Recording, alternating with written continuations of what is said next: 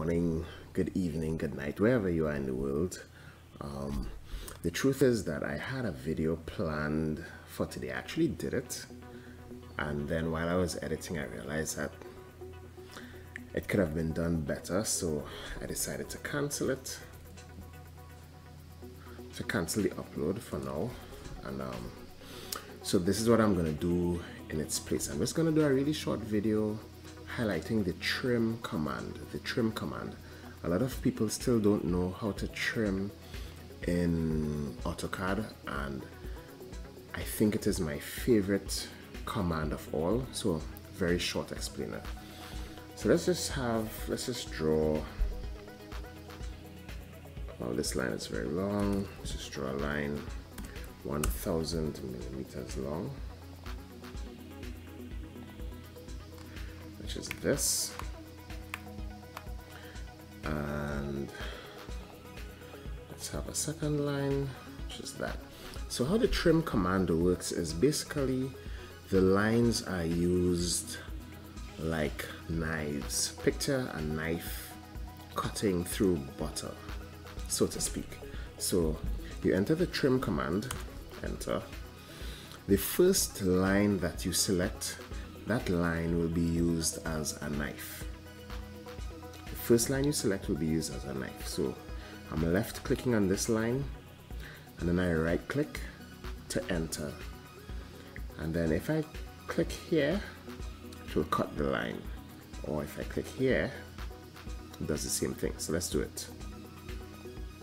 And then you press enter and that's it. It's the trim command.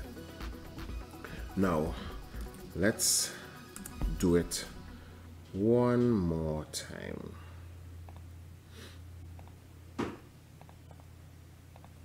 Now this is by no means a, a, comprehensive take on the trim command, but it is a very simple explainer and introduction to the trim command, right?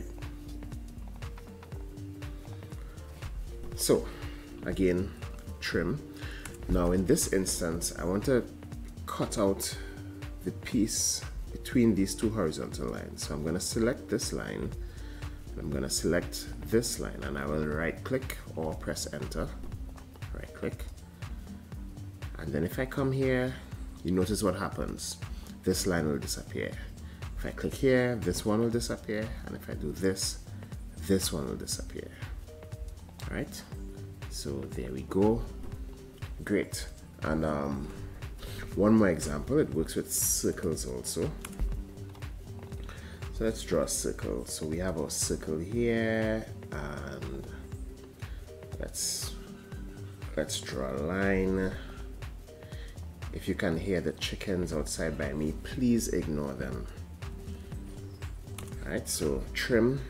I'm going to use the circle as the knife this time. So select, enter or right click and then look. This is the trim command. I usually use it in my drawings, like to neaten up a drawing and so on, where I have lines overlapping, etc. It is by far my favorite, my favorite um, command in AutoCAD. I love it very much.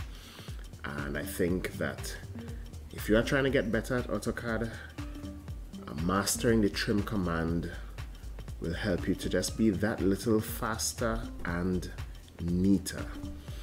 As usual, if you have learned anything in this video, please like and subscribe.